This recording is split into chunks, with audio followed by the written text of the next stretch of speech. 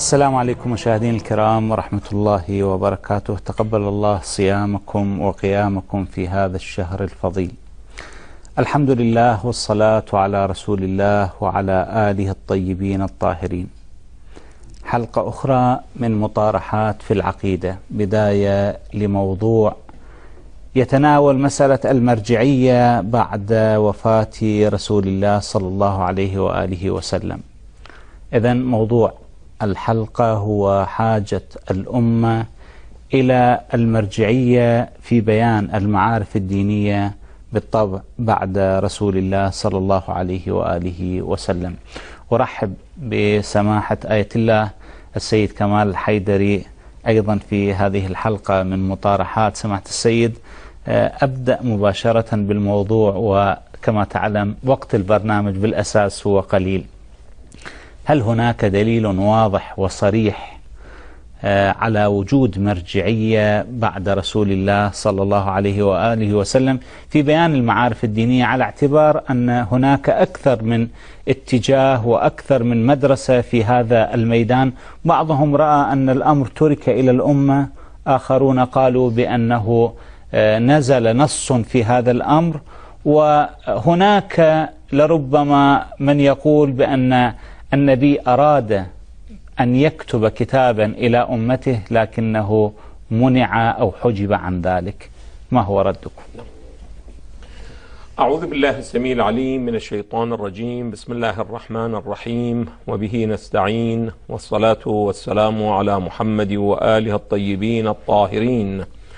اللهم صل على محمد وآل محمد وعجل فرجه.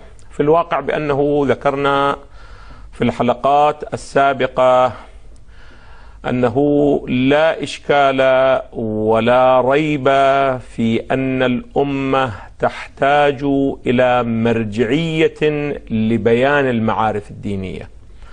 طبعا هناك بحث آخر الآن لا أريد أن أقف عنده ولعله إن شاء الله تعالى أشير إليه.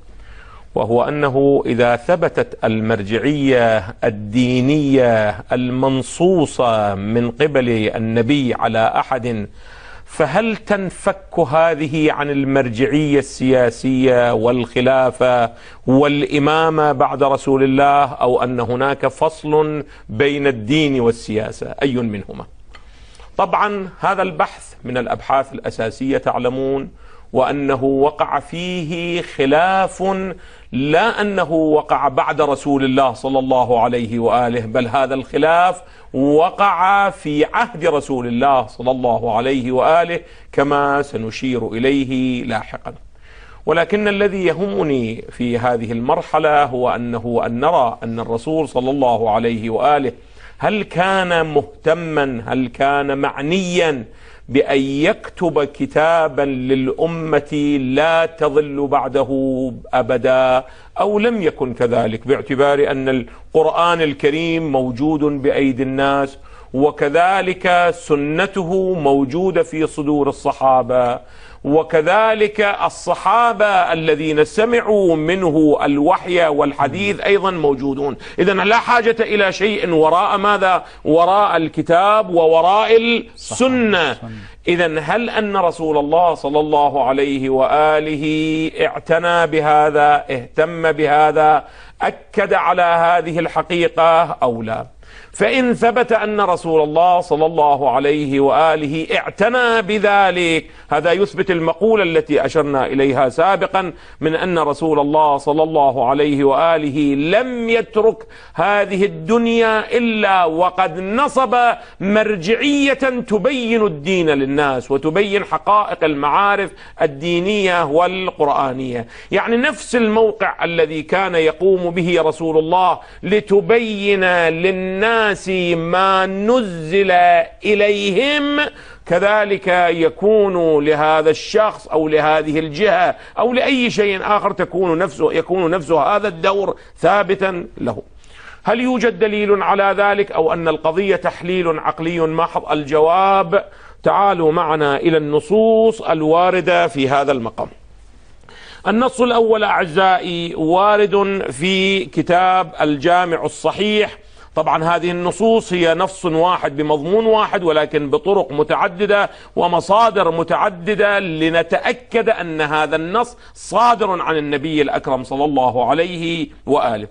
النص الأول ما ورد في الجامع الصحيح أو صحيح البخاري بتحقيق شعيب الارنؤوط وطبع الرسالة العالمية الجزء الأول صفحة 60 أعزائي التفتوا جيدا كتاب التفتوا إلى باب كتابة العلم كتاب العلم باب كتابة العلم رقم 39 رقم الحديث 114 الرواية عن ابن عباس قال لما اشتد بالنبي صلى الله عليه وآله وجعه قال ائتوني بكتاب أكتب لكم كتابا لا تضلوا بعده.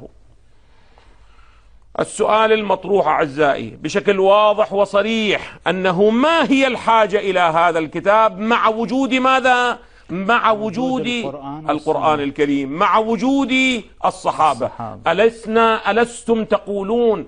أن رسول الله صلى الله عليه وآله خلف في أمته الكتاب والسنة. الكتاب والسنة كان موجود ماذا؟ بأيدي الصحابة. ما هي الضرورة لكتابة ماذا؟ كتاب آخر وراء القرآن ووراء ما في صدور الصحابة. لأجل ماذا؟ لأجل حفظ الأمة من الضلالة. وأنا أتصور لا أتصور أنه يوجد هناك هدف وغايه أقدس من حفظ الأمة. ماذا؟ من الضلالة أن يرجعوا بعده ضلالا أفإن مات أو قتل انقلبتم على أعقابكم. هذا الدعاء الذي نحن دائما في الليل والنهار ليلة في النهار والليل نؤكده ونقرأه ونكرره. اهدنا الصراط المستقيم صراط الذين أنعمت عليهم غير المغضوب عليهم ولا الضالين. ندعو الله سبحانه وتعالى أن ينجينا ماذا؟ من الضلال. الرسول صلى الله عليه وآله في أخريات أيامه, أيامه ولعله في أخريات ساعاته من حياته يريد ماذا؟ أن يكتب شيئا. هذا الشيء ينجي الأمة من الضلال. هذا هو المورد الأول. المورد الثاني أعزائي أيضا ورد في البخاري لعله بعضها بطريق واحد أو بطرق متعددة. أنا أؤكد هذه الحقيقة. المورد الثاني ما ورد في كتاب جهاد الس... كتاب الجهاد والسير باب 175 و 176 هل يستشفع إلى أهل الذمة؟ الرواية اشتد برسول الله. قال الرواية عن ابن عباس أنه قال يوم الخميس وما يوم الخميس ثم بكى حتى خضب دمعه الحصباء. فقال اشتد برسول الله صلى الله عليه وآله وجعه يوم الخميس فقال ائتوني بكتاب أكتب لكم كتابا لن تضلوا بعده. في الحديث السابق ماذا؟ لا تضلوا بعده. وهنا ماذا يقول رسول الله؟ لن تضلوا اولا. وثانيا لن تضلوا بعده أبدا. يعني حتى لو فرضنا أن لن لا تفيد التأبيد أستاذ علاء. نعم. كلمة ماذا؟ أبدا. أبدا تفيد هذا المعنى. فإما تكون أبدا تأكيد وإما تكون أبدا ماذا؟ للتأسيس. إذا قلنا أن لن لن تفيد التأبيد وإنما هي تفيد للنفي فقط فأبدا تفيد ماذا؟ التأبيد. وإذا قلنا أن لن تفيد التأبيد فأبدا تكون ماذا؟ تكون مؤكدة لا مؤسسة. على أي الأحوال. إذا النبي صلى الله عليه وآله يقول ائتوني التفتوا لي أعزائي. أولا يوجد فيه أمر من رسول الله. أمر من رسول الله. وإذا كان هناك أمر من رسول الله هل يحق لأحد أحد المخالفة إذا دعاكم لما يحييكم؟ استجيبوا لله وللرسول إذا دعاكم, دعاكم. هناك أمر من الله سبحانه وتعالى. الرسول إذا قضى أمرا إذا أمر بشيء لا بد ماذا؟ لا بد من الاستجابة. وبعد ذلك سيتضح أن الذين كانوا في المجلس استجابوا لذلك أم لم يستجيبوا لذلك. ائتوني بكتاب أكتب لكم كتابا لن تضلوا بعده أبدا. هذا المورد الثاني. المورد الثالث أعزائي أيضا في صحيح البخاري الجزء الثالث صفحة 443 أعزائي كتاب المغازي رقم الحديث 4431 باب مرض النبي ووفاته. الرواية أيضا عن ابن عباس اشتد برسول الله وجعه فقال ائتوني أكتب لكم كتابا لن تضلوا بعده أبدا. هذا من المورد الثالث. المورد الرابع أعزائي ما ورد في صحيح مسلم المجلد الثالث طبعة دار الخير صفحة 138 الرواية أيضا نفس الرواية السابقة ولكن أقال رسول الله ائتوني بالكتف والدوات أو اللوح والدوات أكتب لكم كتابا لن تضلوا بعده ابدا. وكذلك أعزائي الإخوة اللي يريدون يراجعون مصادر هذا الحديث بإمكانهم أن يرجعوا إلى كتاب الموسوعة الحديثية مسند الإمام أحمد بن حنبل بتحقيق شعيب الارنؤوط مؤسسة الرسالة العالمية الجزء الثالث أعزائي الجزء الثالث صفحة 409 أيضا نفسه ائتوني أكتب لكم كتابا لا تضلوا بعده ابدا. يقول إسناده صحيح على شرط الشيخين وأخرجه عبد الرزاق والحميدي وابن سعد والبخاري ومسلم وأبو داود والنسائي وأبو يعلى والبيهقي والبغوي وأخرجه ابن سعد والطبراني وأخرجه وأخرجه وأخرجه إلى ما شاء الله. اذا القضية تعد من المسلمات المقطوع بها أن رسول الله صلى الله عليه وآله قال هذه الجملة. يعني هذه الجملة خرجت من فمه المبارك والشريف. لا أنه نقل ماذا بالمعنى لأن كل كلمات هؤلاء الأعلام والمحدثين ماذا يقولون؟ يقولون بأنه قال رسول الله ائتوني بألفاظ يعني إذا أردنا أن نتكلم بلغة علمية هذا من التواتر اللفظي يعني أن هذا اللفظ هذه الألفاظ مقطوعة الصدور من فم رسول الله صلى الله عليه وآله. خصوصا إذا ضممنا إلى ذلك ما قاله الشيخ ابن تيمية في كتابه علم الحديث للإمام العلامة تقي الدين ابن تيمية دار الكتب العلمية بيروت لبنان في الصفحة تسعة وخمسين هذه عبارته. يقول وأيضا فالخبر الذي رواه الواحد من الصحابة. هسه قد يقول لنا قائل سيدنا هذه الروايات التي نقلتموها ترجع لابن عباس أحسنتم. فإذا هي رواية واحدة للروايات. هذا أردت أن أسأل عنه جزا أنا جزاكم الله خيرا. أحسنتم. كل الروايات ترجع أحسنتم أحسنتم. طبعا فيها دلالة على حضور يعني ابن عباس وأشباه ابن عباس في ذلك في هذا المجلس. وهم الخواص. وهم الخواص الخواص الخواص. بل أعيان نعم. الصحابة كبار الصحابة. نعم. وأنتم تعلمون من الواضح أنه في مثل هذا المجلس من يحضر؟ مجلس رحلة رسول الله في بيت صغير لا يحضر فيه معاوية. لا يحضر فيها أمثال معاوية أحسنتم وإنما يحضر نعم. فيه كبار وأعيان الصحابة. الصحابة. ابن تيمية يقول في ملاك التواتر يقول ما هو ملاك التواتر؟ هل أن الكثرة لها مدخلية في حصول التواتر أو لا؟ يقول لا لا ضرورة لأن يحصل توجد هناك ماذا؟ كثرة. وإنما لعل خبر واحد ينقله واحد أو اثنان من الصحابة لاعتبارات متعددة يحصل لنا القطع بصدور ماذا؟ هذه الرواية. انظروا ماذا يقول. يقول والتواتر في صفحة 58 من كتابه علم الحديث. والتواتر لا يشترط له عدد معين بل من العلماء من ادعى أن له عددا يحصل له به العلم من كل ما أخبر به كل مخبر. ونفوا ذلك عن الأربعة وتوقفوا فيما زاد عليه وهذا غلط. ما هو الصحيح شيخنا؟ قال فالعلم يحصل تارة بالكثرة. وتارة لا بالكثرة بطبقات المخبرين. وتارة بقرائن تقترن بأخبارهم وبأمور أخرى. إذا لابد أن نجمع الاحتمالات نصل إلى أن هذا الخبر قطعي ماذا؟ قطعي. الصدور من النبي أكرم صلى الله عليه وآله. وأيضا فالخبر الذي رواه الواحد من الصحابة والإثنان كما في المقام واحد أو اثنان أو ثلاثة مو أكثر. إذا تلقته الأمة بالقبول والتصديق أفاد العلم عند جماهير العلماء. إذا الأمة لم تختلف عليه و- أجمعت عليه؟ وابن عباس حبر الأمة. مو لا مو فقط هذا ال- الأمة تلقته أحسنتم. تلقت. يعني ابن عباس هو حبر من أحبار الأمة ولكن الأمة أيضا ماذا؟ تلقت ما صدر ما منه. صدر. ومن الناس من يسمي هذا المستفيض والعلم هنا يعني في مورد رواه الواحد أو اثنان والعلم هنا حصل بإجماع العلماء على صحته فإن الإجماع لا يكون على خطأ لماذا؟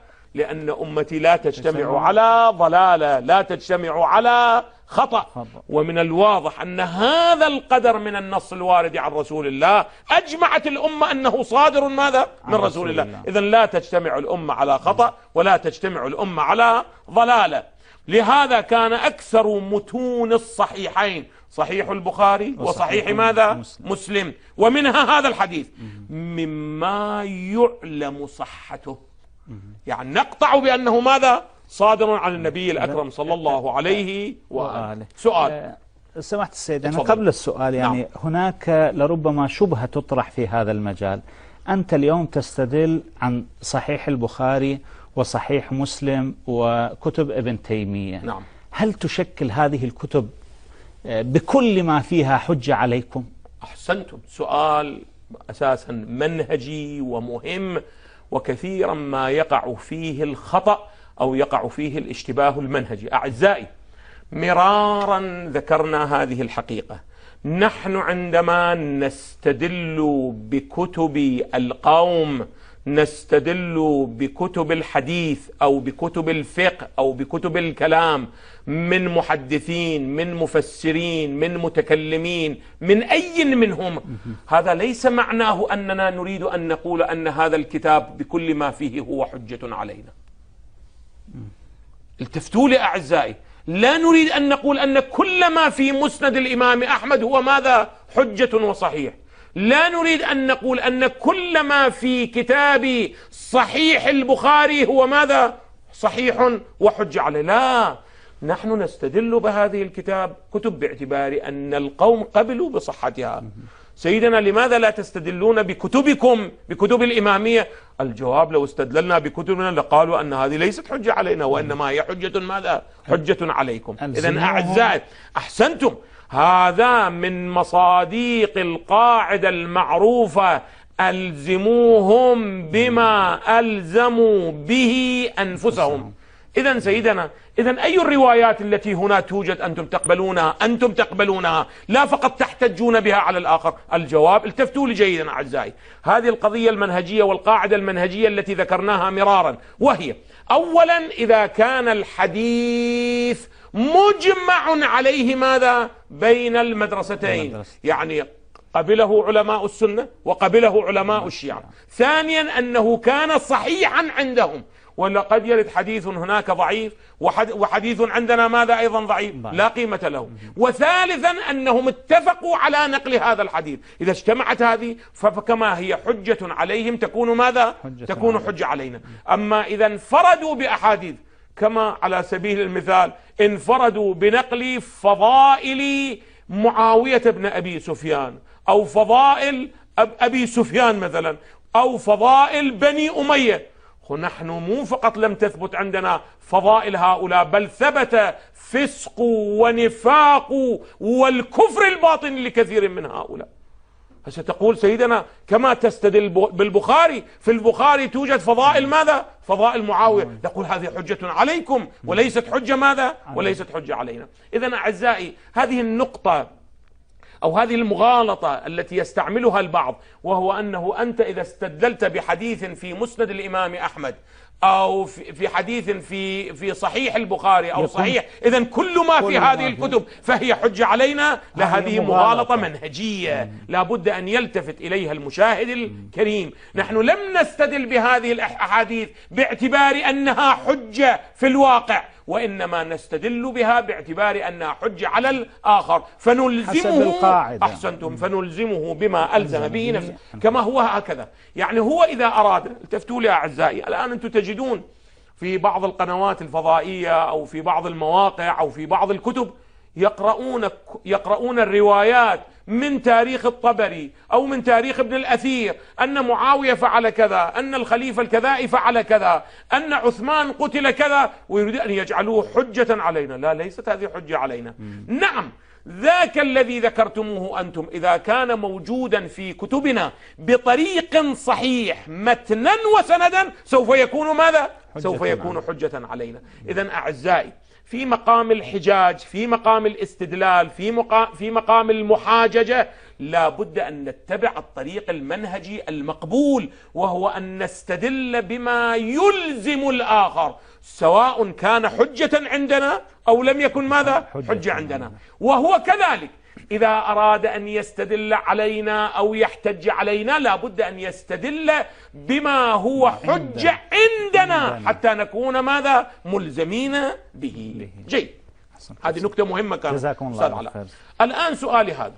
جيد. هذه النصوص إحنا قرأناها للأعزة من مصادر متعددة. السؤال الذي يطرح يا أعزائي إذا فرضنا أننا لا نحتاج شيئا وراء كتاب الله إذا لماذا أن رسول الله صلى الله عليه وآله يأمر ماذا؟ ائتوني بكتاب. أكتب لكم كتابا لن تضلوا أو لا تضلوا بعده أبدا. إذا كان الذي يريد أن يكتبه. نسأل هذا السؤال. كما يقولون من الناحية المنطقية هذا الذي يريد أن يكتبه رسول, رسول الله هل هو موجود في القرآن أو غير موجود في القرآن؟ فإن قالوا موجود في القرآن وكتابته تكون ماذا؟ لغوا لأنه موجود في القرآن. ماذا يكتب رسوله؟ إن كان غير موجود في في القرآن لا نحتاج إليه لأن القرآن فيه تبيان كل شيء. لا حاجة لنا. الجواب لا.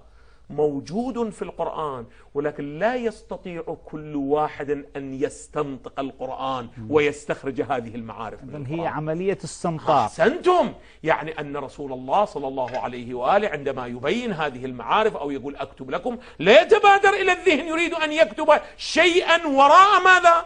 وراء القرآن. لا لا أبدا. هو يريد أن يكتب ما في القرآن ما أمر به القرآن ما أوصى به القرآن ما نهى عنه القرآن. ولكن تقول لماذا لم يترك ذلك للأمة؟ لأنه يخشى أنه إذا ترك ذلك للأمة أن تختلف الأمة فيما بينها.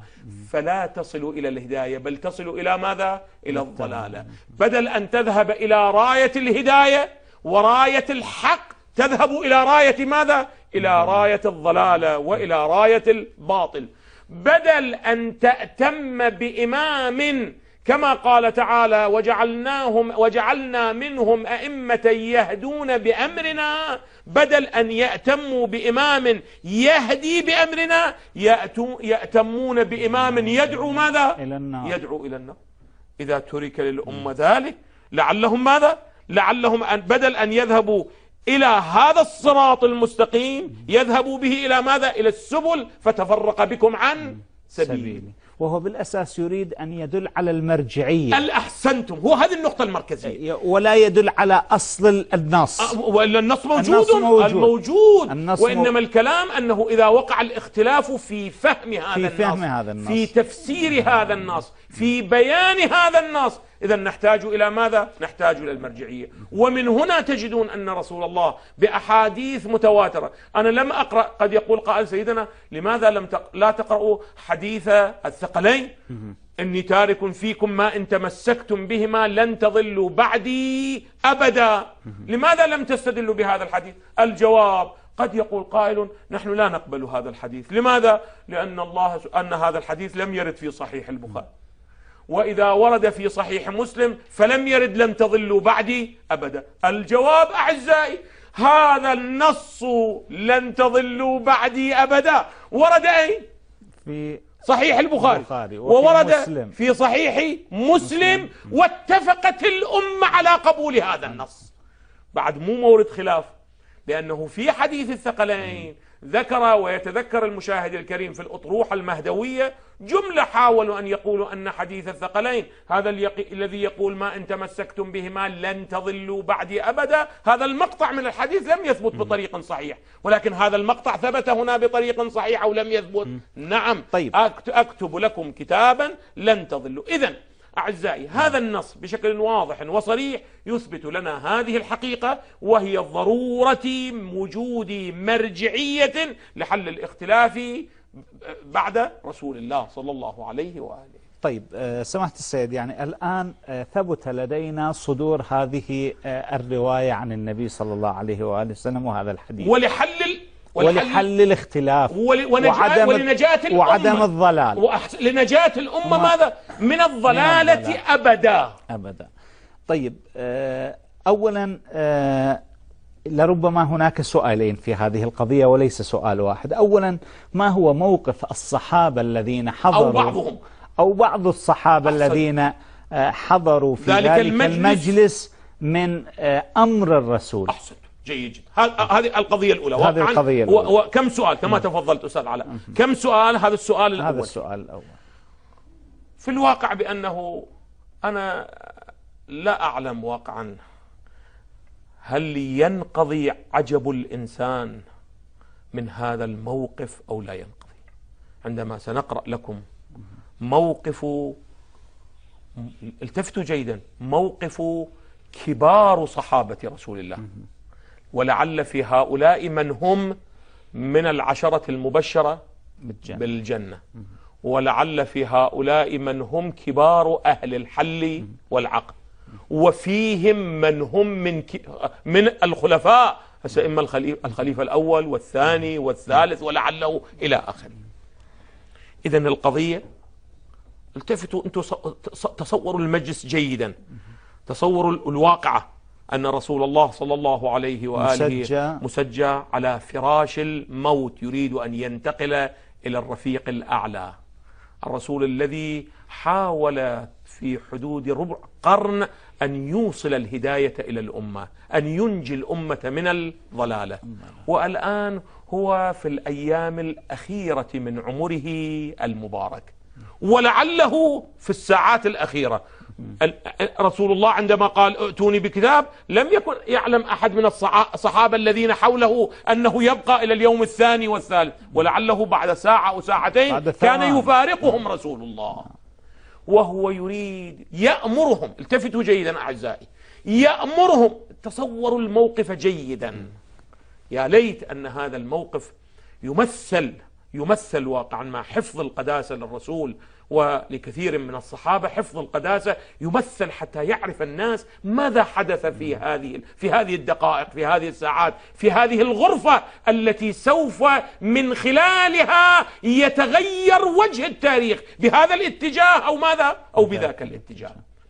رسول من الله وخاتم الأنبياء والمرسلين يريد أن يوصي بوصية مضمون هذه الوصية بينها رسول الله. ليست قضية هامشية جانبية مرتبطة بقضية فقهية بقضية بيان شريعة. لأن رسول الله صلى الله عليه وآله بين كل شيء. قبل ماذا؟ قبل أن يذهب. أن يذهب. لا يمكن لأحد أن يقول أنه كانت هناك مجموعة من التشريعات أو مجموعة من الأفكار أو مجموعة من المباني العقدية لم يبينها رسول الله. اليوم أكملت لكم دينكم. إذا الدين كامل وتام لا يوجد فيه أي نقص. إذا ماذا يريد أن يوجد رسول الله هاجس- بعده؟ هاجس واقعاً الرسالة. ها أحسنتم. يعني ثمرة الرسالة معطيات الرسالة غاية الرسالة غاية الرسالة. نجاة البشرية من من والغواية والوصول بها إلى شاطئ الهداية والأمان والحق. وبعبارة واضحة أن يكونوا تحت راية ماذا؟ تحت راية الحق. أن يأتموا بإمام حق يهديهم إلى الله سبحانه وتعالى. بينكم وبين الله لو أنتم أيها المسلمون أنتم أيها العقلاء أنتم أيها الحكماء أنتم يا أهل, يا أهل العلم أنتم يا أهل الإنصاف وجال وأنتم جالسون في مثل هذا المجلس. لم تكونوا كلكم آذان صاغية لما يقوله رسول الله. يعني هيك أنا أتصور المشهد لو كنا نحن الذين جلسنا. الكل كان يركض. هذا من هنا وهذا من هناك وذاك حتى يأتي ماذا؟ حتى يأتي بدوات. وكتف. حتى يكتب رسول الله. حتى لا يتأخر. يعني أنا أتصور أنا أتصور أنتم لو فرضنا على سبيل المثال على سبيل المثال علم من الأعلام مرجع من مراجع الدين. افترضوا من مراجعنا الكبار حفظهم الله تعالى وأبقاهم ذخرا الذين يعدون هؤلاء وقعا ثغور الأمة ثغور المذهب ثغور حفظ مدرسة أهل البيت عليهم أفضل الصلاة والسلام. وأنتم تعلمون بأنه هذه القضية ليست قضية يمكن أن يتلاعب بها يمينا ويسارا. طبعا ليس فقط في مدرسة أهل البيت. أنتم عندما تذهبون إلى أي مذهب إلى أي مدرسة إلى أي دين آه. إلى إلى المسيحية إلى اليهودية إلى الهندوس إلى ال إلى ال إلى ال أي أي أي. دين وشريعة وملة ونحلة. تجد أن هناك مجموعة من الأعلام مجموعة من الرموز مجموعة من كبار علماء الدين الذين عليهم وظيفة حفظ المذهب. ومن هنا يجب علينا أن نقدم كل كرامة وتقديس وحفظ لمثل هذه الوجودات المباركة والمقدسة وأن لا نسمح لأحد بأي طريق من الطرق أن يمس واحدا من هؤلاء. نعم التفتوا أعزائي هذه القضية. هذه من أهم خصائص مدرسة أهل البيت. أنه فتح هناك باب الاجتهاد باب النقد باب اختلاف الآراء. لا يتبادر إلى ذهن البعض أنه عندما يختلف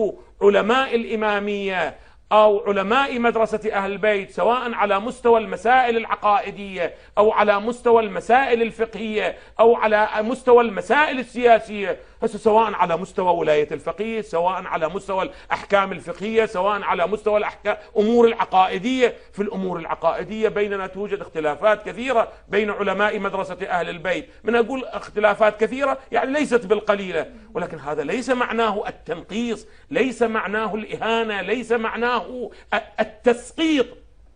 ولذا من هنا وإن كانت مو حديثي ولكنه واقعا ما أدري كيف جررت إلى هذه القضية واقعا لأن الكلام لعل بعضه يجر, يجر إلى بعض. أعزائي ولذا من هنا أقدم وصية واضحة إلى أعزائي. بالكم وإياكم أن تنجروا إلى خلافات هامشية جانبية إلى خلافات تشغلكم عن ال عن ال الهدف الأصلي. الهدف الأصلي هو حفظ ثغور وحدود ومباني العقائدية لمدرسة أهل البيت. والمسلمين أحسنتم والمسلمين. نعم نعم. وقلنا نحن مرارا نحن لا توجد عندنا معركة وصراع فكري وعقدي مع المسلمين. نعم, معركتنا نحن مع ماذا؟ نحن جزء من المسلمين. نعم من الأمة نعم. الإسلامية. ولذا أعزائي حاولوا أن لا تنجروا إلى مثل هذه الأمور الجانبية. المهم أتصور أن الذين كانوا قد حضروا ذلك المجلس المبارك كان لو كما قلت أضرب مثال لو مرجع من المراجع وهو في فراش الموت قال ائتوني بكتاب لأوصي أنا أتصور أن تلامذته ومن حوله كلهم, كلهم يهرول حتى يأتي ويأتي ويقدم حتى. ولكنه ماذا فعل؟ كبار صحابة رسول الله. هؤلاء الذين حضروا وهم الذين صاروا الخلفاء من بعده وهؤلاء الذين بشروا بغض النظر أنه من هم ولكنهم في النتيجة هم ماذا؟ هم العلية هم النخبة. ماذا فعلوا؟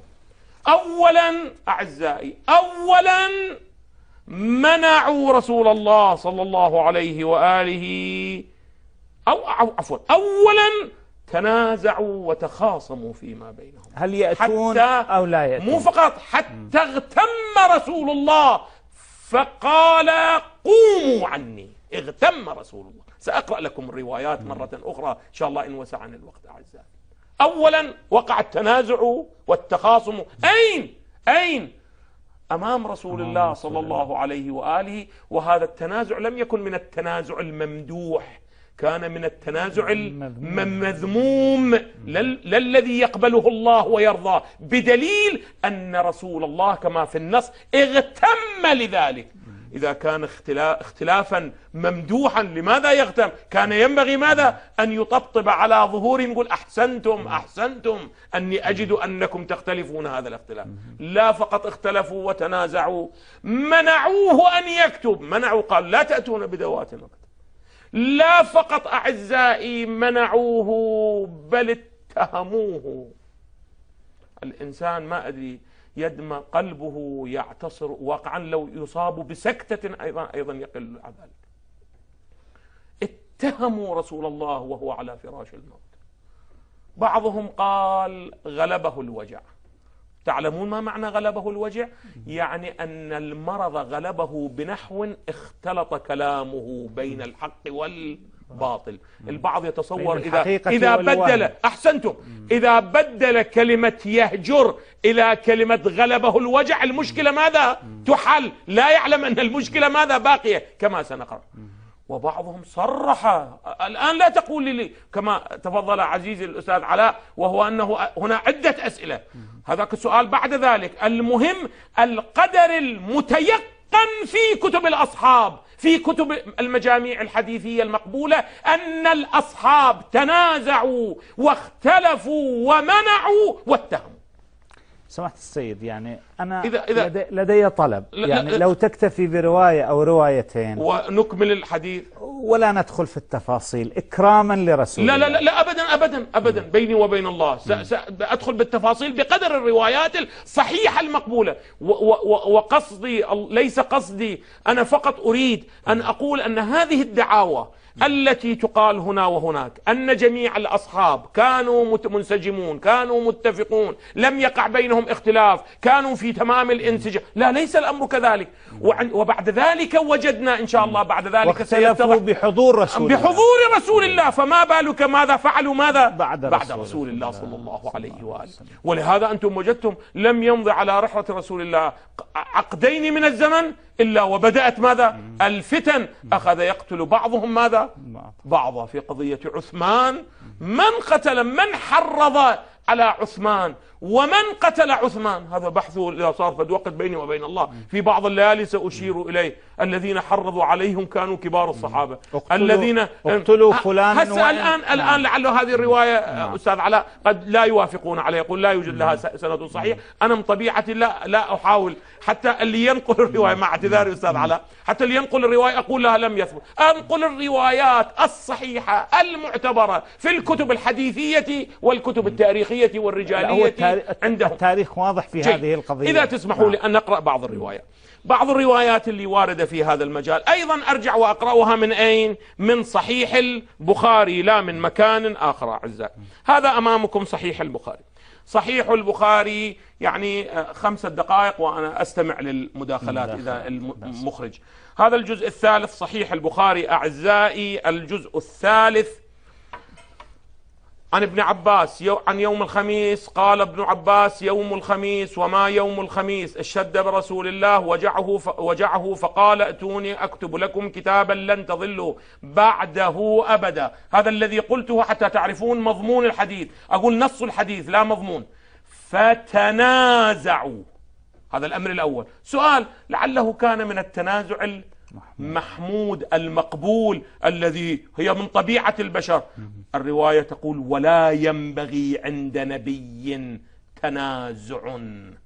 يعني هذا كان محمود لو مذموم كان. وإلا لو كان من هذا النزاع فقالوا هذه طامة أكبر.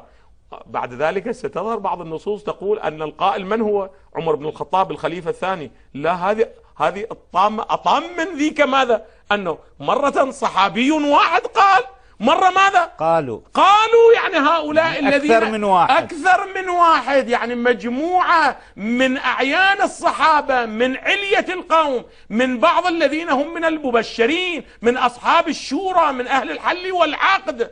فقالوا ما شأنه؟ أهجر. الله. الله رسول الله في حياته أمام عينيه يتهم بأنه حتى لو كان استفهاما، البعض يقول لا هذا استفهام لم يكن اتهام. جيد. بينكم وبين الله احتمال الهجر واحتمال الهذيان واحتمال أن رسول احتمال مسبة هذه سباب لا يا ريت أن كان يسب. هذه التهمة في أصل الرسالة. في أصل لعله الرسالة. لعله أيضا في مواضع أخرى. أيضا قال رسول الله وكان قوله ماذا؟ وأنا لا أعلم هؤلاء واقعا أحملهم على الصحة وأقول هؤلاء كأنهم في ذاك الوقت لم يقرأوا قوله تعالى ما ينطق عن الهوى إن هو إلا الله الله الله.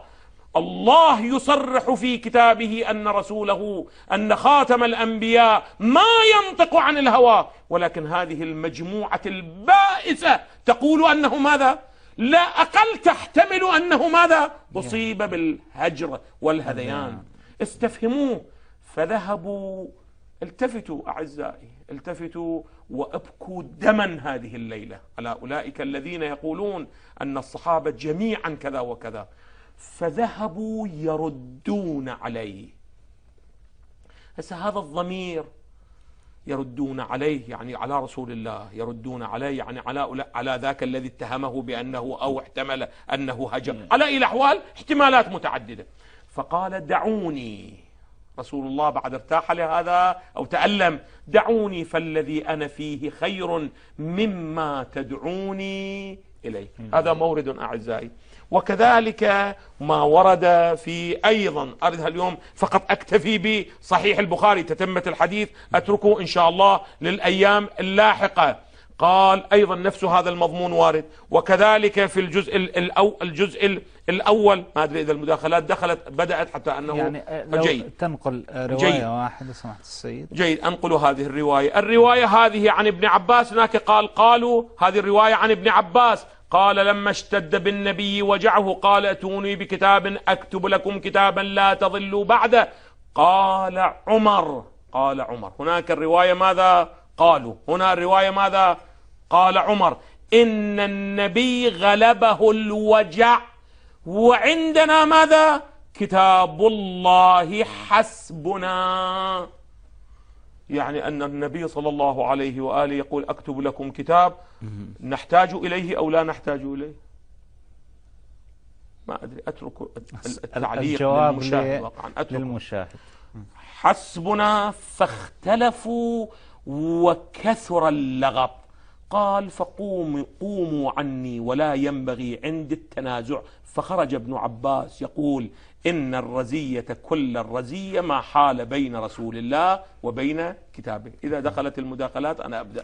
طيب آه،. سمحت السيد آه، شكرا لك. آه، آه، اسمح لنا أن نأخذ بعض المداخلات من آه، الأخوة إبراهيم آه، من المملكة العربية السعودية. قبل ذلك أنوه آه، إخواني طبعا حديث المتصلين حديثنا لم ينتهي. آه، أن يكون ال- الحوار والسؤال ضمن الموضوع وأن تراعى فيه أصول الحوار وأصول المداخلة لكي نصل إلى آه، النتيجة التي نرجوها من هذا ال- البحث العلمي والمعرفي. إبراهيم تفضل. مرحبا شيخنا. عليكم السلام ورحمة الله. عليكم السلام ورحمة الله. أنا لما أشوفك انبسط جدا سؤالي لماذا الرسول عليه الصلاة والسلام لم يقل لعمر بن الخطاب اصمت وأكمل ما يريد كتابة رسول الله شفهيا للصحابة. هذا واحد. اثنين قلت قبل قليل إنهم مجموعة بائسة. فكيف تقول مجموعة بائسة وآل البيت وعلى راسهم علي بن أبي طالب؟ كان حاضر. نعم. فشكرا لكم. شكرا. شكرا قبل أن- آه، إبراهيم من الأخرى. العربية السعودية. لا لأنه أخشى أنه الوقت نعم، لا يسمح نعم، لاجيب. وقبل المداخلة. نعم. أما السؤال الأول اولا أشكر على هذه المداخلة المؤدبة واقعا. وأنا أرجو الله سبحانه وتعالى أن تكون كل حواراتنا من هذا القبيل. اولا أعزائي هذا لماذا هذا ليس سؤال يوجه إليه يوجه إلى رسول الله. أنا حديثي أن رسول الله أمر ماذا؟ ائتوني بكتاب. لماذا لم تمتثل الأمة ذلك؟ أما لماذا لم يكتب بعد ذلك؟ لماذا لم يقل لعمر أصمت؟ لماذا لم يقل للقائلين كذا وكذا. لماذا لم يفعل؟ هذا هذا تكليف رسول الله. أنا لا أعين تكليف رسول أنا لا أعلم لماذا سكت رسول الله. لماذا لم يكتب؟ لماذا لم يعاود؟ هذا متروك لمن؟ لتشخيص رسول الله. أنا وظيفتي الأصلية عزيزي أخي العزيز الكريم التفت إلى وظيفة المسلمين المؤمنين الحقيقيين إزاء رسول الله. وما كان في سورة الأحزاب. وما كان لمؤمن ولا مؤمنة إذا قضى الله ورسوله أمرا. وهنا قضى رسوله أم رسوله قضى الأمر أو لا؟ ألم يقل ائتوني أم لم يقل. أن يكون لهم الخيرة من أمرهم. هنا سؤالي قلت لك أولا أنا عبرت بعض الصحابة مو جميع الحاضرين. وعندما قلت البائسة مقصودي من البائسة تلك التي تنازعت وتلك التي اختلفت وتلك التي أكثرت الكلام وتلك التي أكثرت الغلط وتلك التي أكثرت اللغو حتى قال عن لهم رسول الله قوموا عني. وتلك التي اتهمت رسول وتلك التي قالت غلبه الوجع وتلك التي قالت يهجر. أخي العزيز التفتوا. هذا كتاب السنة. إذا تسمح لي وإن كان حتى ولو ما إلا هذا السؤال. السنة لأبي بكر أحمد بن محمد بن هارون الخلال المتوفى 311 من الهجرة. التفتوا أعزائي. 311 من الهجرة. في الجزء الأول بعد أن ينقل الرواية التفتوا. قال وما يوم الخميس ثم نظر إلى دموع عينيه تحدر على خده كأنها نظام اللؤلؤ.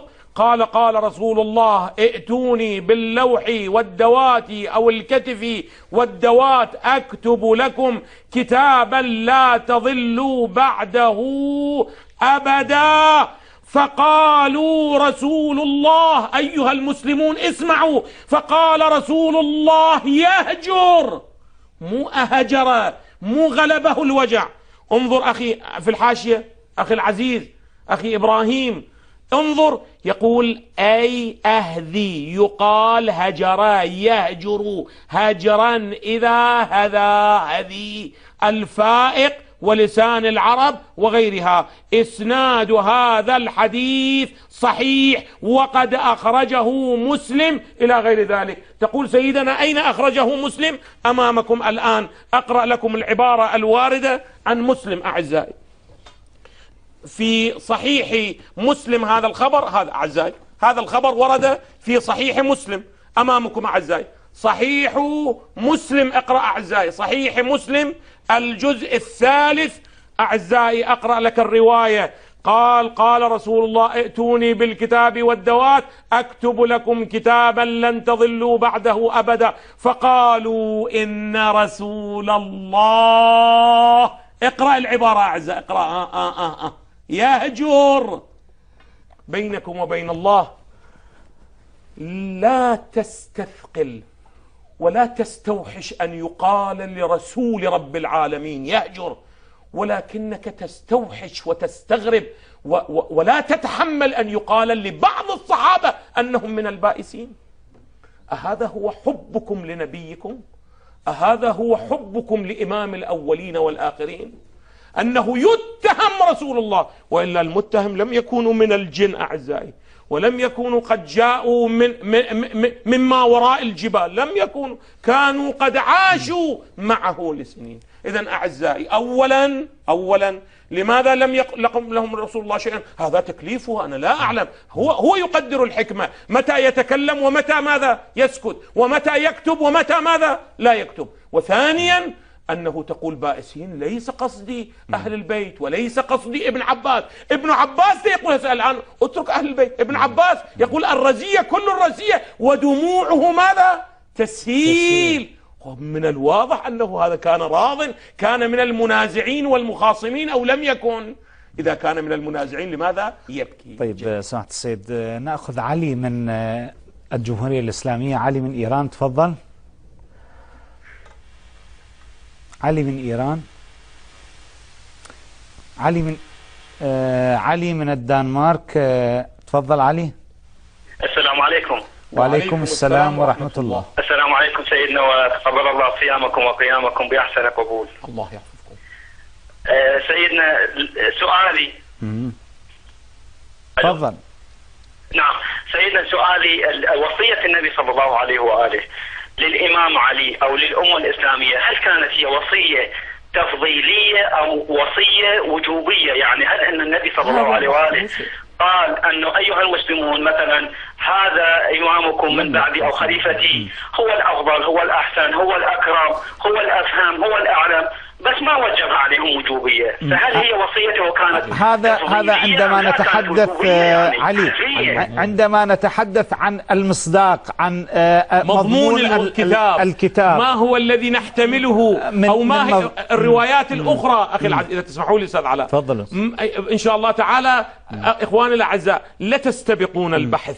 حاولوا أن يبقى البحث على تسلسله المنطقي كما أخي الأستاذ علاء ده يحفظ هذا التسلسل حتى أنه لا تتداخل الأبحاث أعزائي إن شاء الله تعالى اولا لابد أن نعين موقف أنا بعض أنا الصحابة كنت قبل ذلك آه، تونت هذا السؤال وإن شاء الله سيأتي. في الليالي ما- ما, القادمة. ما هو الدليل على أن الكتاب الذي منع النبي عن كتابته يشير إلى مرجعية الإمام أحسنتم أحسنتم أساساً- واقعا أو أن توجد عندنا أدلة أخرى أو لا توجد أو توجد. أدلة أخرى أو لا. ولذلك أرجو أن لاحقاً. لا يستبق أحسنت. البحث. آه، هناك اتصال آخر من العراق. تفضل. أبو موسى من العراق تفضل. السلام عليكم. وعليكم, السلام وعليكم ورحمة السلام الله. ورحمة الله. شلونك شيخنا؟ أهلا حفظكم بكم الله ومد الله في عمرك مرحبا بك أخي العزيز. شيخنا بالنسبة ل بلاء التبليغ الكتاب هل هو كتاب من ضمن الرسالة أم ماذا؟ وهل كتب الكتاب؟ هل طيب. الكتاب؟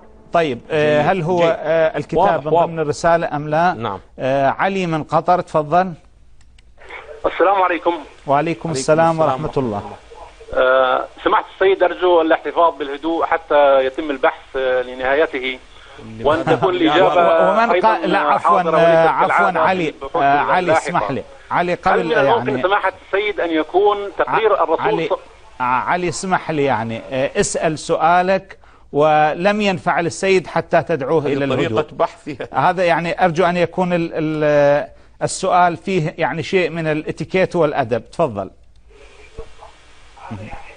لا بأس. تفضل. أستاذ علاء لو سمحت را- 100% تفضل. الأدب ولكن آه، تفضل علي. تماما أنت أسأل وأنا سؤالك، ما عندنا كثير من الوقت. كما يجب أن يكون الأدب إن شاء الله آه، تفضل سمع سماحة السيد سأدخل بس سأدخل بالسؤال إن شاء الله سماحة السيد هل ممكن أن يكون هل ممكن أن يكون تقرير الرسول صلى الله عليه وسلم بالسكوت أيضا تقريرا من الرسول لأن الرسول صلى الله عليه وسلم سكت عن هذا الأمر وهذا يندرج أيضا تحت إقرار الرسول لهذا الأمر فيجب أن ننظر من هذه الزاوية. وليس بالضرورة أن يكون آه، من نتمناه أو على لأن الاتجاه الذي تتكلم به كأن الرسول صلى الله عليه وسلم يكتب لعلي بن أبي طالب رضي الله عنه هو أن يكون الولي والإمام للأمة. ولكن سكوت النبي صلى الله عليه وسلم عن الكتابة أيضا يندرج تحت هذا المفهوم الذي نتبعه نحن أهل السنة والجماعة.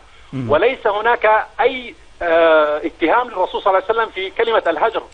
لأن الهجر الذي في مفهومهم في ذاك- الزمان وليس بالمفهوم المغلوط حاليا أنه تأثير الحرارة على الرسول صلى الله عليه وسلم فقد يكون هذا هذه الدعوة التي دعاها الرسول صلى الله عليه وسلم تحت هذا المفهوم وليس بالمفهوم ال- ال- بسوء طيب الظن كما آه علي ال- الفكرة واضحة لو تسمح لأنه ما تبقى من الوقت. قليل جدا. سمحت السيد آه تجيب على سؤال بلي بلي بلي. وأعتذر عن المتصلين الآخرين إن. شاء الله. آه يعني أنا تكون أخي, فسحة أخي أكثر. العزيز آه، يقول تقرير من رسول الله. أنا لا أعلم إذا كان تقريرا من رسول الله صلى الله عليه وآله لماذا أن الرسول صلى الله عليه وآله قال التفتوا أعزائي هذا صحيح عني. البخاري أحسنتم. لماذا تألم؟ كان يقول يقول قال فلما أكثر اللغط لغط اللغط مولانا أمر ممدوح عند الرسول والاختلاف عند النبي قال قوموا عني. إذا كان تقريرا كان يقول لهم إذا تريد أن بارك الله بكم بارك اجلسوا. الله فيكم اجلسوا. الذي منعتم أن أكتب. لأن الرواية تقول غلبه الوجع. وعنده وعند وعندكم القرآن. فحسبنا كأن رسول الله لا يعلم أن لا يعلم القرآن أنه- ماذا بأيديهم. فحسبنا كتاب الله. طبعا ما أريد أدخل في التفاصيل. يقولون أن الخليفة الثالث هو الذي جمع القرآن وكان مبعثرا. كان وهنا عمر ماذا يقول؟ فحسبنا كتاب الله. يعني الكتاب كان موجودا موجودا. وكان مبعث إذا كان مبعثرا في الصدور وفي الجلود هذا يسمى كتاب بينكم وبين الله. على. الأحوال وهذا يسمى هذا لا يسمى كتاب. إذا كتاب الله كان ماذا؟ موجودا ومجموعا في عادي أما ماذا فعل الخليفة الثالث؟ أيضا إذا وفقت سأبين أن الخليفة الثالث فعل فعلا. هسه كان ممدوحا أو لا له حديث آخر. فحسبنا كتاب الله واختلف أهل البيت. مو أهل البيت يعني أهل بيت الع- ال- ال- العترة واختصموا يعني الذين كانوا الذين جالسين. كانوا فمنهم من يقول قربوا يكتبكم لكم رسول الله. كتابا لن تضلوا بعده. يعني نفذوا أمر رسول الله. ومنهم من يقول ما قال عمر. إذا تبين رأس الجهه جهة التي منعت من كان؟ عمر. لأنه يقول ومنهم من يقول ما قال عمر. إذا هذه التعابير التي ورأت قالوا قالوا مراد ماذا؟ المجموعة التي اتبعت الخليفة. فلما أكثروا اللغط والاختلاف عن النبي قال قوموا عني. فكان عبيد الله فكان ابن عباس يقول إن الرزية كل الرزية ما حال بين رسول الله. إذا أقرهم لماذا رزية لماذا تكون رزية؟ أعزة هذا أولا. وثانيا كلمة يهجر. يهجر كلمة واحدة. كلمة واحدة كلمة واحدة حتى لا على دقيقة نصف. دقيقة نصف دقيقة. أو أقل. يقول وقوله اسمع أعزائي مسند الإمام أحمد الشيخ شعيب الأرناؤوط. هذا الأخ العزيز كأن اللغة العربية سيد- تتبدل. سيدنا وقت بلي بلي. المؤسسة الرسالة الجزء الثالث قال أهجر قال في النهاية اختلف كلامه بسبب المرض على سبيل أي تغير كلامه واختلط اختلط بماذا؟ اختلط بالوهم ال- اختلط بالباطل. واختلط لأجل ما به من المرض إذا هجر وجع تعطي معنى يعني واحد. أن رسول الله صلى الله عليه وآله ماذا؟ اختلط. وقع به الخاض. آه، سمحت السيد الحيدري شكرا لك آه، في هذه الحلقة. شكرا لأعزائي المشاهدين. أعتذر للأخوة المتصلين الذين لم يتسنى آه، لنا أخذ اتصالاتهم. إن شاء الله تكملة البحث. في الليلة القادمة. أحسنت. حتى ذلك الحين أستودعكم الله. والسلام عليكم ورحمة الله وبركاته. شكرا لكم.